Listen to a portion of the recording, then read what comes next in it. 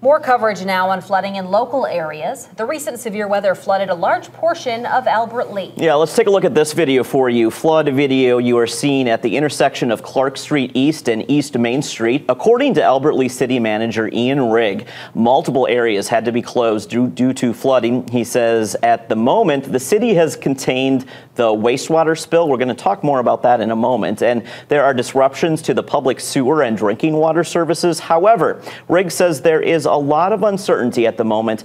The city, though, has dealt with a similar sewer main break before, and Riggs suggests people not to swim through any of the lakes during this time and to watch out for closed and flooded roads. He says the city expects all of the flooding to hopefully be cleared up before Independence Day.